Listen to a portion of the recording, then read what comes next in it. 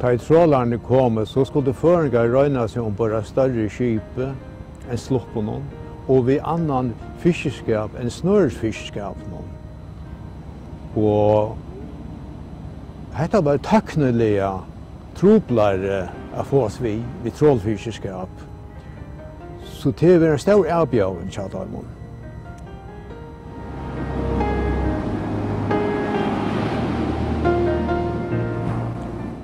Og i desember 1933 kjøpte så Kjølbro og Christian Holm Jakobsen, en trålare ur Brettlandet, som da nevnte Skalaberg. Han var skrasett i havn, men silti ut fra Klaksvik.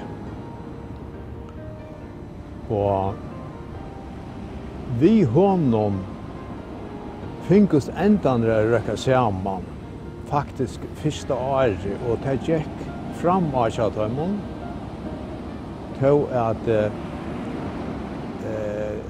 ta store vinningen ikke fekst for en eh, under krynon ta ta for å isa fiskene i lastene og sikla av marskene i vi og noen.